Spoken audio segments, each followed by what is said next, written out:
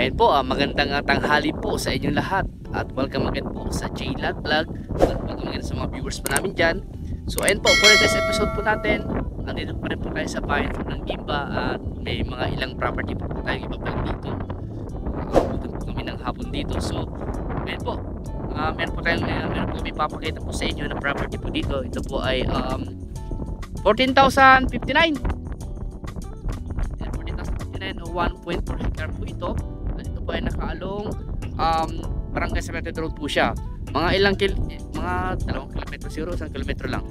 Mga isang kilometro lang po ang layo po niya sa National Highway uh, Gimbapura Road. O yun nga po Gimbapura Road National Highway. At ito nga po yung property na binebenta. Dito po mag-start dito sa pilapil po na ito. Diretso po yan hanggang doon pa po yan. Medyo haba po yung property. At yung kanyang entrada nasa mga um, nasa 30 meters to 40 meters po siguro yung kanyang entrada. Hanggang dito po siya. Yan ipapakita ko sa inyo. Ipapakita ko po yung kanyang entrada. Yan po. Flat terrain po yung property. Yan po. Bukid po siya. Kakaati lang at may irrigation sa bandaron. May irrigation po sa po. Yung part po yan irrigation po yan. So hanggang dito po yung um, boundary po niya. Dito. Sa part na ito diretso ulit po yan. At ang kakandaan po nito um, dito na po nila pinapatalo yung tubig na galing sa saan na ba sa irrigation dito na pinapatalo yung tubig. So nakikita niyo po meron po siyang um, culvert po dito. Daanan ng tubig papunta po dito. Patubig po nila sa mga palayan po dito. Ayan. So nasa 30 meters po yung kanyang entrada. At ang kagandahan po nito buhay pa po yung nakapangalan sa title po dito at ang presyo po ng property ay 3.1 million. Kung gusto nyo pang i-negotiate yung price i-negotiate natin. Meron pa naman daw pong konting bawas sabi naman po nung mga source po namin dito. So sa property po na ito may naglapit po sa amin sa team realtors uh, kaya po kinukuha na po namin ng video po ngayon tsaka drone. At baka sakali nga ito po may benta po namin. Pero sakali po try po namin. Baka sakali may, may, may magkagusto po sa inyo sa mga ganitong uh, property na rice field. At ito nga po ay ko yung ano po niya yung kanyang titulo po ay agrarian po siya.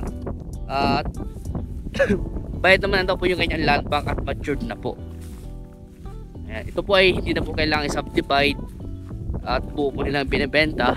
At dito po sa kanyang katabi ay may binibenta rin pong 5,000 yan. Pero mamaya po i-discuss ko rin po yan. Sasama ko na rin po sa vlog dito. Yan so po yung property po na 1.4 hectare 14,059 square meter daw po.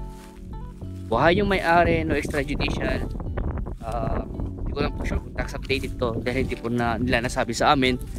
Yun nga po kagaya ng sinabi ko kung hindi po siya tax updated babayaran pa rin po ni seller yun para um, makuha natin yung mga dokumento mga supporting documents po sa pagpapakompute po ng BAR ang kagandahan po nito uh, kakasabi po sa amin um, mga so source po namin din sa property nito na sasagutin daw po ni seller yung capital gain tax po.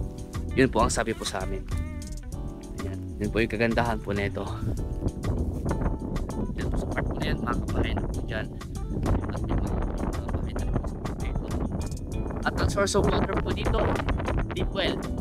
Sigurado po walang pumasa dito sa part na ito. Yan source of water deep well. Line nga lang po.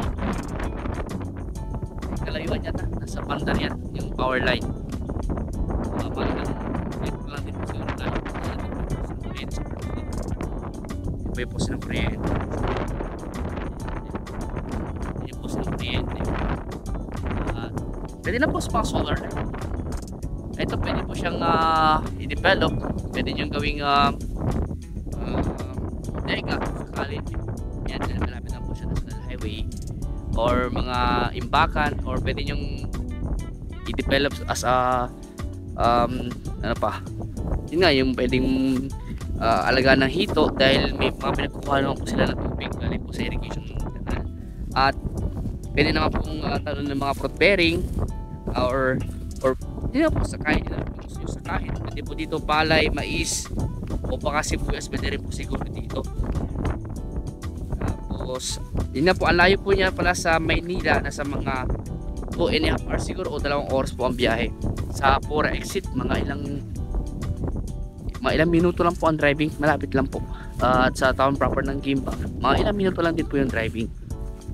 Ayan. wala lang po tayong ladaan ng rough road lahat po ay sementado po yung daan. Ah, barangay road sementado national highway yan po. Tapos ano pa? May mga mountain view po dito. Hindi ko lang po alam kung anong mountain view yan. Siguro Sambales na po siguro yan. Na po ng Sambales.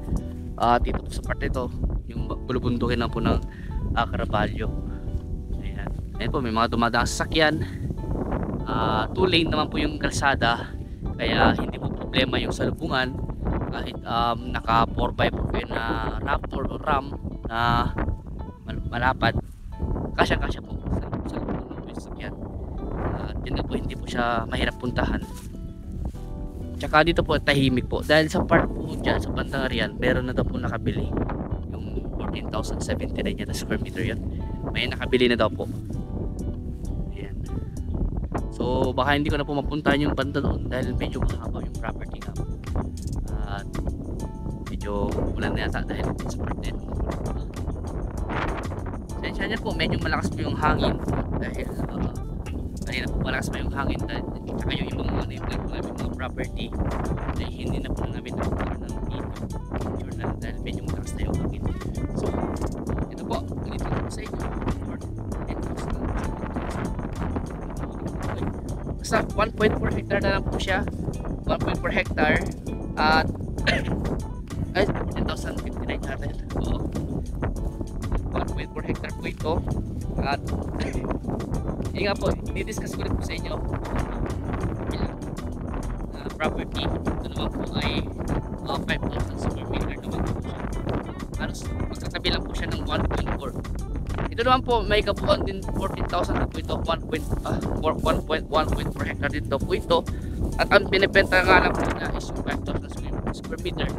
At ang kagandahan po nun dito naman po sa kukunin yung so tinanong namin kung saan, kung, kung saan dadaan yung the rest.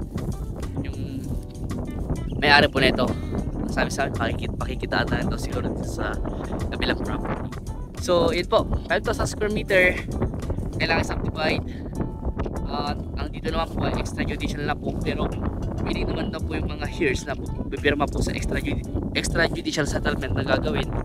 At yun nga po. Ang entrada po niya nasa natin po siguro din sa kabila. Sa mga uh, 30 meters din po siguro ayan. So nagkahanap po ng ano ng 5,000 square meter po. Ang presyo naman po nito sabi po sa mga uh, ng ano namin dito sa Gimba um, 1.7 na po yung sinabi presyo. Yung po sabi, sinabi po sa amin presyo 1.7 M. Uh, yun kadepende lang po kami sa sinasabi nila mga presyo. So 5,000 square meter po ito. 1.7 M yung presyo. Uh, title property din po ito ah uh, same lang din po yung ano ibang detalye po sa kabila. So, sakaling uh, ano po pwede naman po sigurong ano pwede nyo na po sigurong um, magsabay na lang itong kahit yung yung bilhin magiging ano na po siya uh, 1 point na.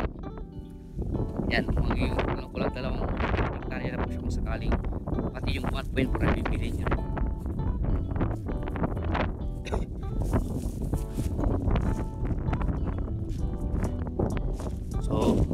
along barangay road play. Hanggang po yung ano boundary. Ng 5,000 lang po siya. Medyo po ganun. Hatiin na po dyan kung saan yung makukuha ang 5,000 so the rest sa dating may-ari na po yun kung sakaling mabili nyo po. Pa-subdivide, pa-approve po natin. Uh, may mga kakilala naman po tayong uh, mabilis mag, uh, mag-approve po ng mga mga ganitong mga property na sinasubdivide po ayan meron na po tayo geodetic engineer si engineer Perueco at ano ba gusto nyo po pakuran po sa amin nakakontrata rin po kami ng bakod. Gusto nyo palinis wala naman po tayo lilinisan po dyan dahil bukid naman po hindi naman po siya masukal. Uh, dito nga po sa harap kahit sunugin lang, sunugin lang po ito mawala na po yan. So, maganda rin po itong alag, pangalagaan po ano ano pwede kayo mag-alaga ng mga hayop po dito. Yun nga lang kailangan maglagay ng silungan nila mga baka, camping, pwede po dito mag-alaga. At yun nga po, sabi ko sa inyo, depende po sa inyo kung ano yung gusto nyong i-develop sa ganitong property na binibenta. Rice field po siya at nasa sa inyo po yun kung ano yung ah, kung anong plano po nyo. At kung kinakailangan nyo ng mga tao para sa mga gagawin yung mga development sa property, meron naman po tayo. Kung gusto yung ah, contractor po, at kung gusto magpatay ng bahay, ng malaking bungalow house, ganun, may mga contractor po tayo.